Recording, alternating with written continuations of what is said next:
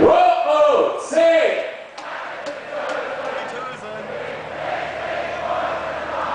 Ja, jetzt haben die Probleme schon gar nicht runter, oder? Ich bleibe